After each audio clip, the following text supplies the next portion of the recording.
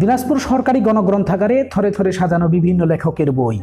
চর্যাপদ থেকে আধুনিক বাংলা সাহিত্য, প্রবন্ধ, ইতিহাস আর অর্থনীতি সহ এখানে আছে নানা ধরনের বিষয়ভিত্তিক বই। কিছুদিন পূর্বেও বই প্রেমীরা আলমিরার সামনে দাঁড়িয়ে সন্ধান করতেন কাঙ্ক্ষিত বইয়ের। কিন্তু করোনা পরিস্থিতিতে দীর্ঘ চার মাসেরও বেশি সময় ধরে বন্ধ রয়েছে গ্রন্থাগারের পাঠক সেবা পাঠকদের অপেক্ষা পুনরায় গ্রন্থাগার চালুর। স্বাস্থ্যবিধি বজায় রেখে গ্রন্থাগার চালুর দাবিও জানাচ্ছেন তারা।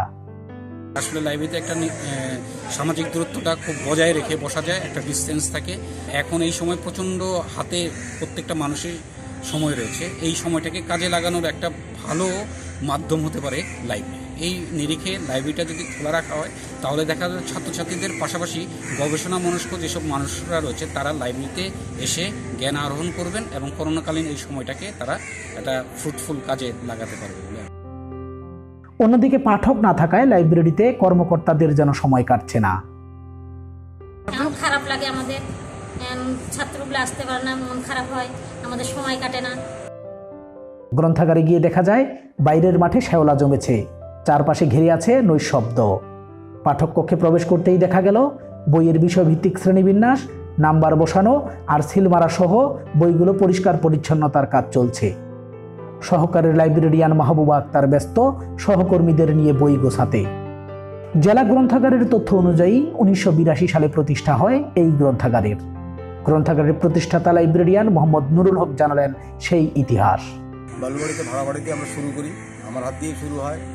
তারপর উনিশশো বিরাশি সালের পর ছিয়াশি সালে আরেকটা বালুবাড়িতে আরেক জায়গায় ভাড়া চলে যায়। হ্যাঁ সেই যা কিছু মালা মালামাল ছিল, বইপত্র সব ওখানে টেনে নিয়ে যাওয়া। ডাক্তার হ্যাঁ বালুবাড়ি থেকে আবার দুই হাজার তিন সালে আমরা নিয়ে আসি কাচারিতে কোঅপারেটিভ ব্যাংকের ভাড়া বাড়িতে। দুই হাজার তিন থেকে দুই হাজার হ্যাঁ যখন আমরা এখানে নয় দশ সালের ওদিকে যখন এইখানে জায়গা পাইলাম বিল্ডিং হইল হ্যাঁ।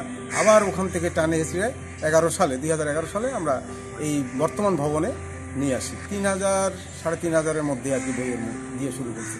বর্তমান দিনাজপুর গোরে শহীদ ময়দানের পশ্চিমে সাড়ে চৌত্রিশ শতক জমির উপরে ইংরেজ সিভিলিয়ান চার্লস লজের পরিত্যক্ত ভবনের জায়গা লিজ নিয়ে ভবন নির্মাণ করে স্থায়ীভাবে গ্রন্থাগারটি স্থানান্তর করা হয়।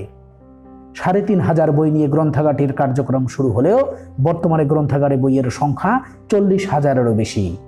বুক সেলফ রয়েছে চৌষট্টিটি আর নয়টি পদের বিপরীতে কর্মরত আছেন মাত্র চারজন। পাঠক সেকশন বন্ধ থাকায় আমাদের অফিসে অন্যান্য কার্যক্রম চলতেছে। সেই কার্যক্রমের কিছু অংশ হচ্ছে যেখানে আমাদের বই ক্লাসিফিকেশন কিছু করা আছে, আরও ক্লাসিফিকেশন চলতেছে।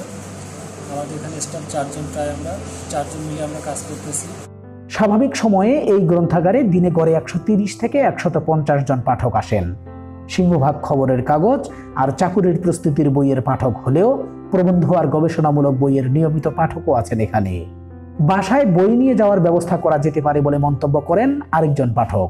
আমি মনে করি যে এই পাঠাগারে যারা এখানকার কার্ডধারী সদস্য, তাদের জন্য একটা বিশেষ সুবিধা দেওয়া যেতে পারে যে তারা কার্ড দেখিয়ে বইগুলো বাসায় নিয়ে যাবেন, তারাও পড়বেন।